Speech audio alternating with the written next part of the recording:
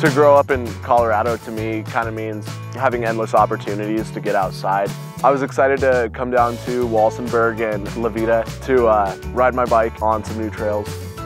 I'm a beginner mountain biker, so I'm just kind of into the views and just getting out there and having fun.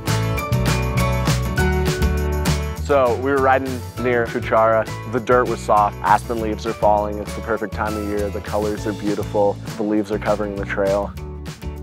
The whole backdrop of the trail was the Spanish Peaks, which are absolutely beautiful.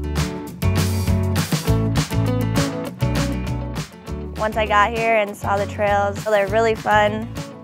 After we finished mountain biking, we head down to La Veta and checked out Oktoberfest. There were a variety of different tents with different things that people were selling, what they made, what they had. Stopped by some vendors, got some bratwurst, sat down for a beer, ice cream, and just enjoyed the culture.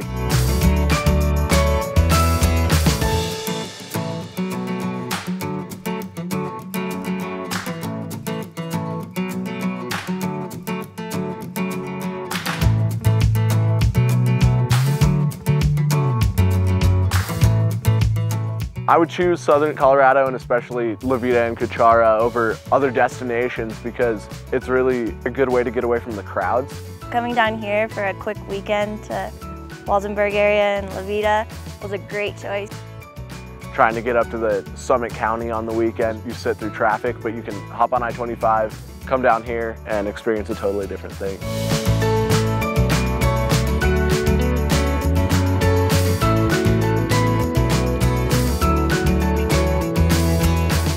Later in the day, we got to ride down Highway 12, which had the sun setting over the cool rock formation, so it made it an absolute beautiful ride.